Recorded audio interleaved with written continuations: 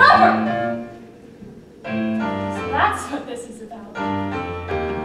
Joanne, there will always be a woman in rubber flirting with me.